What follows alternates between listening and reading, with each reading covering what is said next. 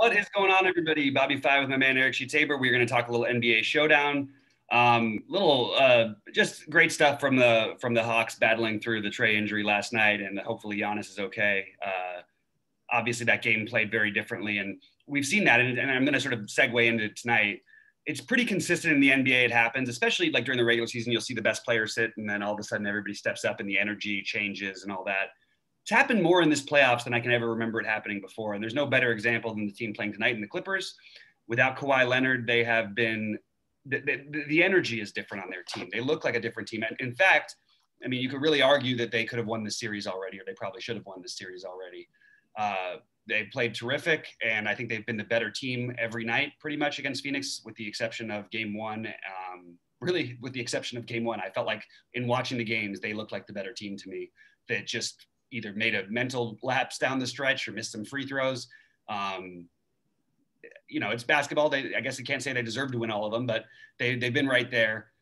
Um, and they've, you know, they, they've got a, they've got a, it's been different guys, you know, outside of the Paul George stuff. And we, we have a major question mark with, with Zubac tonight. I actually think even if Zubac plays, you're going to see them go small again because it certainly worked in the last game, and it certainly worked in the last series. They somehow they somehow managed to uh, take Ayton out of his out of the game. He only had nine shot attempts. So I uh, just wanted to mention that I I like the Clippers tonight. I feel nervous every time I say it because I still thought Phoenix was going to win the series. Uh, I thought the Clippers would win the series if Kawhi was healthy. After he was out and they were down two nothing, I thought they would fight, but I didn't think that it would be this uh, this good of a fight. I like the Clippers again tonight. Um, that's where I'm at. How about you? So Bobby is one who believes in streaks and believes that you know the, you go with the hot hand in, in, in a lot of things in, in sports and life. And and and if, if you believe that that's the case, my son likes the Clippers tonight, and and he's and he's done everything right the last couple of days. So um, i am with you, man. I'll, I'll go with the Clippers. Sounds sounds right to me. I honestly have not. I really don't have much of an opinion on the game. Um, one of yes, yesterday I was pretty it was it was kind of a weird weird game. I, I, was I was pretty confident you were supposed to take the Hawks, and then when Trey got ruled out, basically everything was was up was was up in smoke. And then when Giannis got injured, whatever, that was a wild game. But um, um, yes, I do think that Zubac being out or not is is has definitely a lot of fantasy uh, fantasy uh, implications. Uh, for example, I mean, I my, my first look, we can get right into it. I mean, I, I presuming him out, I'm putting just like I have Batum and Marcus Morris both in the captain in, in a lot of different lineups. Mm-hmm. Um, so that is a very, very key piece of whether he's in or out. What, what do you do about, about, about Boogie Cousins if he's out? I don't know that we do anything, uh, to be honest with you. Like, I don't, I, you know, you look, you look in the last, they've, his minutes are a little bit funky because look, he's, he can put up tons in, in no time. That's the one thing. This guy is literally the best fantasy point per minute producer if we've ever seen. You know what I mean? Even the game he played seven seconds, he put up a fantasy point. You know what I mean? Right. He was just in there to try and get an offensive rebound on a, on a free throw. Um, I I personally I'm I'm not touching the Boogie Cousins thing at his price.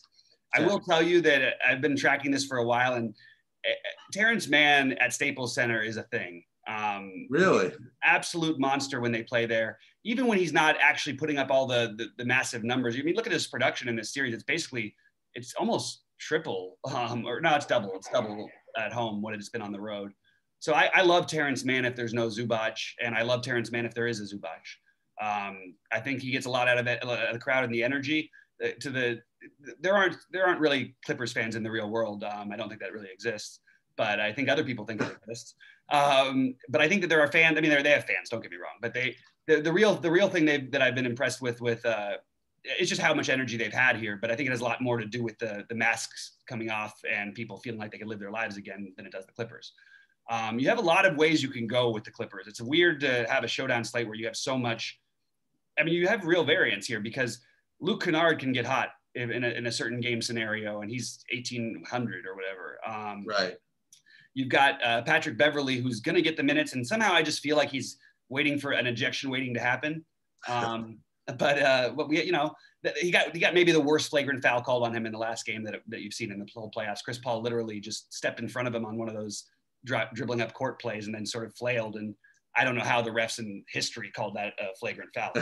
um, but th- th- that's the thing that's interesting about it. There's a lot of uh, spread out ownership. Terance Mann is the, is going. Oh, to be you sure? Are you sure about that one? Hundred percent sure. I, I mean, literally everybody. It's all anybody in the NBA circles are talking about is just how ridiculous that call specifically was. It's ridiculous. I look in general. I'm not a. I'm a guy who thinks Patrick Beverley. This guy took out Westbrook's knee. You know, he's, he started this guy my, my guy's downfall, uh, or not downfall, but you know, struggling or whatever. Um, I think Terance Mann is a very, very, very good play tonight, and he's going to be low owned. I'm happy to get a, as much of that as I possibly can. Is it true that Nicholas Batum is going to be low owned? And if so, no, there's no way, right? we're just basing that on recent production because that seems like a really a mis- I mean, I guess you can't play everybody, and that's sort of where, where it gets to be. You know, some of these guys have to be low owned. Marcus Morris, uh, I agree with you that, but even if even if uh, if Zubac plays, I, I I still like Morris here. Um, and again, I think they're going to go more with that smaller lineup. So all these guys are going to have their chances. I think the energy that Mann plays with keeps him on the court unless Luke Kennard gets really, really hot and they need it. That's the that's the, the flip side of it. Um, I'm a little frustrated that Mann won't shoot the ball when he's wide open, and I think the Clippers actually get frustrated by it too because they get these wide open looks to him every time because they all lean towards Paul George and everybody's crashing out. I, I don't understand why he won't shoot more, but Mann is the guy I'm going with uh, as my most contrarian, which is not that contrarian. But uh, Mann, Batum, Morris, and obviously, I don't think we should be fading Paul George here. Although, if you did, you you know, look, Giannis, I, I, I cursed him yesterday by saying the only way he can't get there is an injury. And of course, he goes out and gets injured. Um, I don't really know how you fade Paul George and the, and the raw points here. And You don't. You can't. You, I don't think you can. I'm just trying to think out loud because, you know, we just trying to get anything. You're right, though. I, I don't think it's possible. Um, oddly, he's the only Clipper I have projected at above 50% ownership, which is actually possible because, you know, we, we Beverley, Morris, Kennard, uh, Jackson, Mann, all of these guys are great plays, like, or, or have the chance to be great plays. Um, I love I love what Reggie Jackson's doing. I think it's for real. Uh, he's the number one ISO rated player in the NBA this year, which is still mind boggling to me. Yep. Um, but he's been terrific in this series, and he's willing to take to step up when they need him to. The only thing I'd say is that his current price, again, you want the raw points, but I think you can get there. I think there's a reasonable enough chance that that Morris and uh, Beverley and Jackson and Mann, I'm sorry, Mann and Kennard, or Kennard can make up enough of the difference where maybe he's in the 30 point fantasy point range, and maybe those guys can be in that range as well. That's my argument for fading Jackson, who's going to be the second highest owned Clipper for good reason. But I think you have to try and get a little different. So I'm going with the Mann George, um, mixing uh, Mann George Morris and Batum. Actually, I think it, you, all four of those are, are the ones that stand out the most. And then you mix in some Beverley, and I do think you want to maybe mix in a little Kennard just for the upside. I mean, if they if they get down, you know, 20 to 2 and he comes off the bench, there makes a three, he's gonna be in the game for a while. I think they're gonna they're gonna roll with the hot hand a little bit um, in that situation. Although the truth is I don't see that happening because they've looked like the better team. What about the Phoenix side for you? We want to start it off and talk a little bit about anybody who would uh, consider fading or who were who we're going to play with those uh, with the Clipper value. Yeah, I mean, Booker and Paul. I mean, I, I don't know. I mean, I, I again, I'm, I'm, I'm, or is it Ayton? Is it Ayton and Booker? That's what I'm trying to Um, decide between. I don't know, man. I think I think there's I think these both those guys just have the ball too often in these closeout. I mean, this is still a closeout whatever it is. I mean, I just think Paul's just gonna have the ball just too often. he's been uh, I'll say I'll say he's not not been great uh, since he came back from the COVID. Um, and in real life basketball, he has been inefficient. He's shot the ball terribly. Uh, he just hasn't looked like the same person. He still, like you said, is going to have the ball a ton here. Uh, I don't think you can fade. I don't. I don't think I would be fading Booker in this game. I do think you can fade Chris Paul. I think Ayton is actually the priority play for me, though. Um, again, they're all. It doesn't. If I'm going to captain one of them, it's probably going to be Ayton or Booker. Uh, Booker and Booker and Paul make the most sense in a lot of ways to people. I think Ayton will have less ownership on, in the captain spot. I think he's actually has a higher ceiling probably than Chris Paul does. I mean, he's actually in a series, he's, he's proved it. Um, Yeah. And I think they make a, I think what Chris Paul does is he makes a concerted effort. That's been their biggest advantage um, through a lot of these playoffs. And I think that why wouldn't they go back to that? Chris Paul is not the guy who's going to go out there try. So, I, so I'm leaning towards fading Paul tonight, playing Booker and Ayton. Um, I also think that I'll, I mean, look, if I'm playing multiple lineups, I'm going to have some Chris Paul. But, uh, you know, you do have Chris Paul also trying to close out at, in LA. There's there's a there's a nice little narrative thing going on there, but I just don't think he looks quite the same. I think he's gonna gonna you know try to try to help the other guys take over, but I don't think he's gonna be the one doing all the all the work himself. And I think you can fade just the other guys. I, I would rather it's safer to play Crowder and Johnson because we don't know which of the Clippers are to end up getting all the run. They can't play all seven of those guys equal minutes, but um, but I do think that uh, I think I'm to try and fade the Crowder Booker, uh, Crowder Johnson situation in favor of the Clippers and just just play the studs over here. Yeah, I, I you know that's that's the one thing I was going to say. You know, remember it's it's uh, any any fade is is uh, even like a low on guys like 35 percent, right? So so if you play like a zero of like a Crowder, for example, I mean you're kind of ahead of that if he does if he does poorly. Um, and he was he was he was uh he was struggling on defense. He was getting beat. I mean, like I don't know, but it's it, it's like I've been saying with these showdown slates, and I'm telling you, every every slate of mine has been the same. I mean, like as, unless like the whole freaking world blows up, you know, like where multiple injuries and a blowout, which really hasn't happened in the playoffs. I mean, we really haven't. Well, haven't what happened? No, I know, I know, and we had the, those those just aside from those those those outlier games, right? Right, right, right, right, right. Sorry. You know, um, I, I just I'm I'm just uh I'll I'll just I'll just go with Paul Booker and, and, and Paul George, and then just hope hope the hope, hope the shuffle hope shuffle hope the shuffle works out with for the best. What I will do, as I mentioned before, is put guys like Morris in the captain, guys like uh, Batum in the captain. You know, just in case they have a good game and the rest of the lineup, I can get everybody else in there. Um, that that's something I would do, but I'm not going to do something like Fade George or anything like that. Yeah. Um, you know, it's interesting in the Booker thing. I mean, first of all, I, Patrick Beverley, say what you will about him. He's done a fin, like a phenomenal job yeah. on, on, on Devin Booker. Like yeah. people thought he couldn't defend anymore. Wrong. You know what I mean? The guy, the guy has, has been awesome.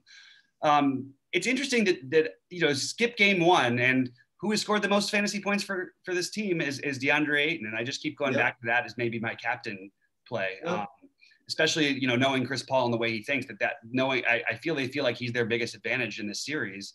Yeah. that he's so I so I kind of like the Ayton captain idea.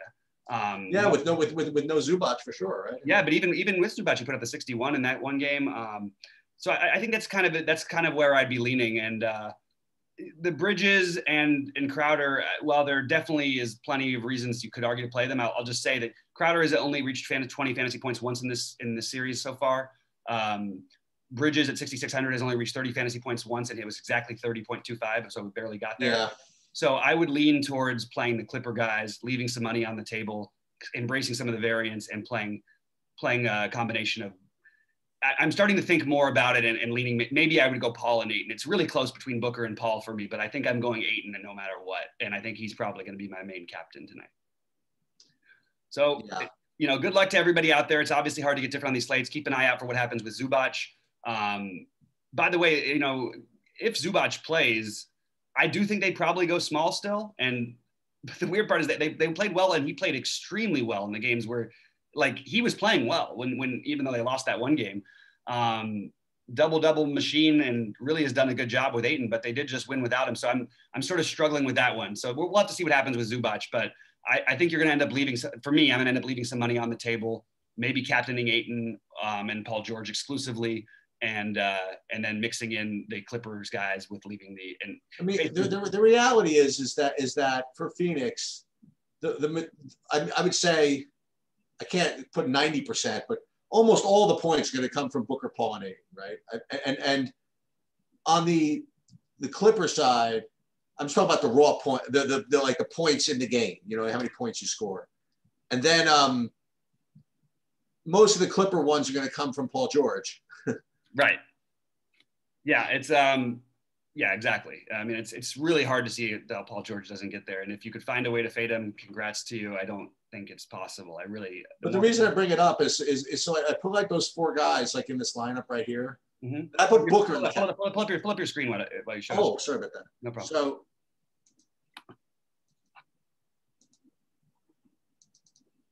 Oh wait, wrong one. Um, so I just put Booker and the captain here, just just just to see what would happen.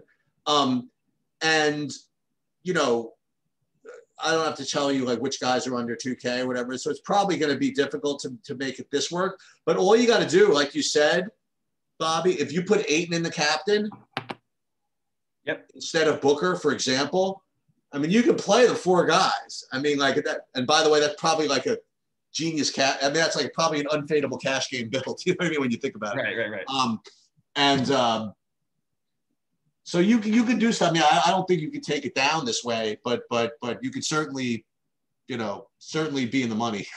Absolutely, and but it, I mean the weird thing about the, especially if Zubac is out, but the weird thing about the Morris versus uh, taking skip skipping Crowder and skipping Bridges, if you're going to play multiple lineups and just treating Morris and Terance Mann as they have the same ceiling or higher, that's the way I would approach this, because I think that is the actual case, and you don't need those sure points from those. You know, you know. Let's talk about this a little more because you, in, in my in my simplification of the situation here, I left out one guy who I think could be either the the the captain or the fade.